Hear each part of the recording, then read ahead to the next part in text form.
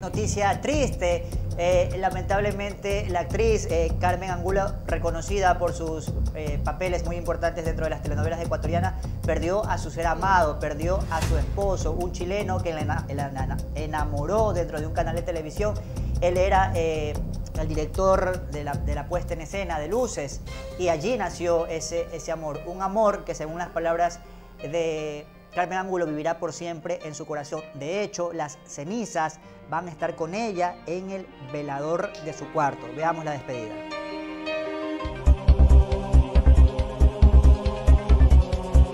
Lo voy a tener conmigo porque yo siento que no se ha ido. Las personas que amamos no se van. Yo sé que es algo físico porque siento que él sigue conmigo. Entonces va ahí a su velador con su, con su música de Elvis, junto a mí.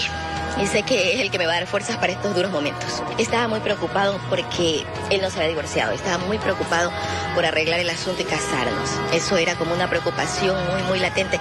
Pero tendríamos que ir a Chile, armar todo el asunto y no lo pudimos hacer. Entonces yo creo que esa era una de las muchas preocupaciones, o yo creo que una de las primeras preocupaciones, o su última, última preocupación que tuvo. En este caso, faltó cumplir ese último deseo de él de casarse con, con usted. Así es, así es. Pero le digo que ya se lo dije, que cuando yo esté lista para soltarlo, me voy a ir porque eso era, lo que él amaba, la playa, ahí nos íbamos a casar, entonces me voy a ir a la playa y voy a, hacer mis votos con él y cuando yo esté lista para soltarlo voy a soltar sus cenizas en la playa y ahí nos vamos a casar. Él sabía cuánto lo amaba y tú sabes que eso se demuestra, eso no se dice. Se lo demostré en cada momento, el mes y dos semanas que estuvo en el hospital, yo estuve ahí cogiéndole la mano hasta el final. Entonces yo creo que no, no faltó nada de decirnos y todo el amor que teníamos que, que decirnos nos lo dijimos.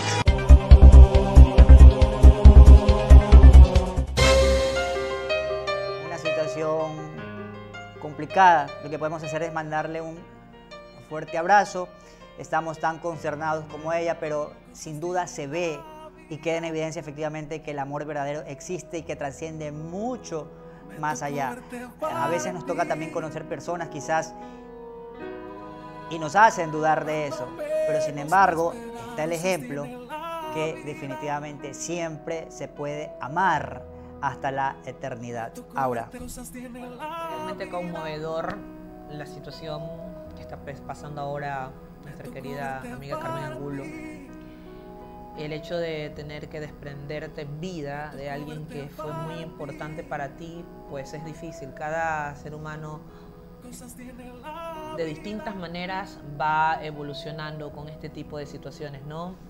Hay quienes prefieren dejar sus cenizas, su cuerpo en un cementerio, pero hay quienes se rehusan a soltar a esta persona y prefieren llevarlo, como en el caso de Carmen, a su casa hasta que ella esté preparada, como lo bien lo dijo, de soltarlo. ¿no? Te mando un abrazo grande, créeme que todos eh, nos llega muchísimo el hecho de, ver una mujer eh, que pese a, a, todo, a las situaciones que se les presentaron como pareja, de no haber cumplido su sueño de casarse, pues tú ahí te mantienes con ese mensaje de amor, de amor puro para enseñarle este mundo que está congestionado, donde se han perdido los valores, Toxicado. donde ya la gente no sabe qué es valorar a las personas, donde la gente no sabe qué es el verdadero amor y tú con esto nos envías un hermoso mensaje, no solo de que hasta la muerte nos separe, sino que hasta el infinito.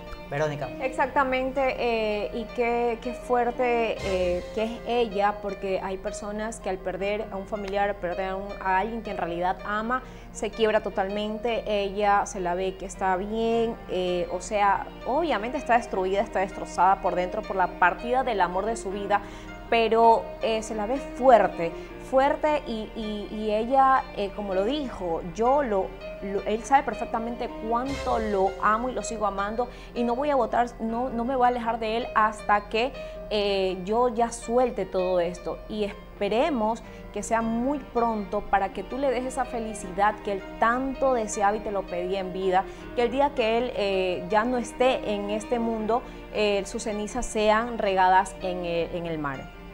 Reinaldo. Bueno, si tuve la oportunidad de estar con Carmen ese día, el día de la nota, Estuvimos ahí, eso fue en el Panteón Municipal, en el Panteón Metropolitano, mejor dicho. Y efectivamente, te cuento que llegó la familia. Estuvieron ahí los, los hijos que llegaron de Chile.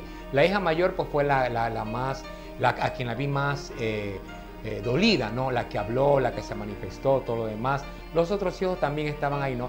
Pero algo que sí noté fue que Carmen fue quien estuvo al pie del cañón, como quien dice. Fue ella quien llevó, desde que falleció, lo llevó allá, desde que lo llevó a la sala de cremación. Quien recibió el cofre fue ella. Y quien agarró el cofre, tan pronto lo fue ella y lo tuvo abrazado, así como lo vieron en esas imágenes, en esas imágenes. Y nunca soltó el cofre, ni siquiera para nadie, ni siquiera para sus hijas. Ella lo llevó el cofre hasta, hasta el momento que ya se embarcó al carro y se fue. Definitivamente es una prueba de un amor que, traspasa ya esto de la vida y la muerte que va más allá. Y algo que sí queda en claro ella de que ella dice que ese amor no se va a morir nunca. Ella dice que está totalmente enamorada como cuando lo conoció. Y mientras lo tenga a su lado, siente que él está ahí con él, físicamente. Stalin. Creo que más allá de lo que han dicho nuestros compañeros, también es lamentable ver cómo a través de un artista, como a través de una persona conocida como es Carmen Angulo, nos demos cuenta la situación sanitaria y el problema de salud que atraviesa el país. Tener que usar su imagen, tener que usar las redes sociales para pedir ayuda, para poder pedir que lo atiendan al esposo cuando fue al hospital, que faltaba una máquina para poder hacerle los análisis, etcétera, etcétera, también evidencia lo que está pasando y que los artistas no están exentos de esta crisis en la que se encuentran los hospitales. Y también eh, mencionar que a pesar de que usó su, su, imagen, hizo todo eso a través de redes sociales, la ayuda llegó, pero quizás, creo yo, fue un poco ya tarde para que pueda recuperar la salud del amor de su vida. Así que también le mando un inmenso abrazo a Carmen y que Dios le dé fortaleza para poder salir adelante de ese duro momento. Angie, el tema te toca bastante. Sí, sí, sí, justamente eh, mientras estaban pasando el video se me hizo como un nudo en la garganta porque le, comentaba de hecho a Stalin, el matrimonio... Eh, es como muy fuerte, es un lazo muy fuerte independientemente si tienes los votos o no los tienes.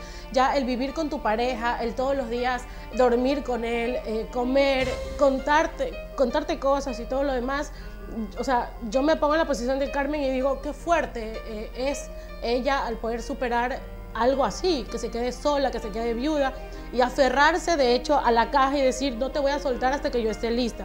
Y yo creo que nunca va a estar lista, pero el día que lo haga, realmente va a ser una mujer libre y qué bueno que su conciencia esté tranquila, que eh, es lo que nos dijo, ¿no? O sea, yo no me quedó nada eh, por hacer porque lo hicimos todo, todo se lo dije.